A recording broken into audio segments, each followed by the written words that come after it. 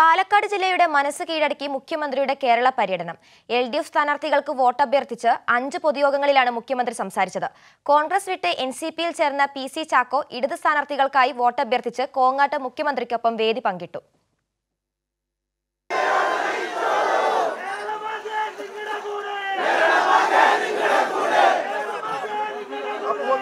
തൃത്താലയിൽ M P രാജേഷിന് വോട്ടഭ്യർത്ഥിച്ച് കൂറ്റനാട് നടന്ന പൊതുയോഗത്തിലാണ് മുഖ്യമന്ത്രി പിണറായി വിജയൻ ആദ്യമെത്തിയത്.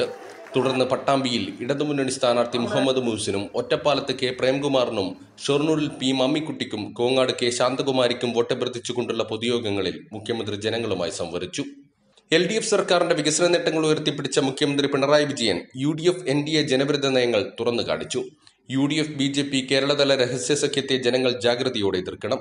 നാളത്തെ കേരളം എങ്ങനെ വേണമെന്നതിനെക്കുറിച്ചുള്ള കാഴ്ചപ്പാടുകളാണ് എൽ ഡി എഫ് പ്രകടന പത്രികയിലുള്ളതെന്നും പെൻഷൻ രണ്ടായിരം രൂപയായി ഉയർത്തുമെന്നും മുഖ്യമന്ത്രി പറഞ്ഞു. നമ്മുടെ രാജ്യത്തെ സംസ്ഥാനങ്ങളിൽ മികവുറ്റ സംസ്ഥാനം ഏത്? ഭരണ മികവിൽ ഒന്നാം സ്ഥാനത്ത് നിൽക്കുന്ന സംസ്ഥാനം ഏത്? ഇത്തരമൊരു വിലയിരുത്തൽ നടക്കാറുണ്ട് രണ്ടായിരത്തി പതിനാറിന് ശേഷം ഓരോ വർഷവും ആ വിലയിരുത്തലിൽ ഒന്നാം സ്ഥാനം കേരളത്തിനാണ്. അഴിമതിയുടെ തോത് വിലയിരുത്താറുണ്ട് ഓരോ സംസ്ഥാനത്തുമുള്ള അങ്ങനെ വിലയിരുത്തിയപ്പോൾ ഇന്ത്യ രാജ്യത്ത് അഴിമതി കോൺഗ്രസ് നയങ്ങളിൽ പ്രതിഷേധിച്ച് പാർട്ടി വിട്ട് എൻ സി പിയിൽ ചേർന്ന പി സി ചാക്കോ കോങ്ങാട്ടെ എൽ ഡി എഫ് പൊതുയോഗത്തിലെത്തി ഇടതുപക്ഷത്തിനു വേണ്ടി വോട്ടഭ്യർത്ഥിച്ചു. കോൺഗ്രസ് നിയമസഭയിൽ ഒറ്റയക്കത്തിലൊരുങ്ങും അന്വേഷണ ഏജൻസികൾ ഉപയോഗിച്ച് മുഖ്യമന്ത്രിയെ ഭയപ്പെടുത്തുന്നവർ തീയിൽ കുരുത്തത് വെയിലത്ത് വാടലിൽ ഓർക്കണമെന്നും പി സി ചാക്കോ പറഞ്ഞു.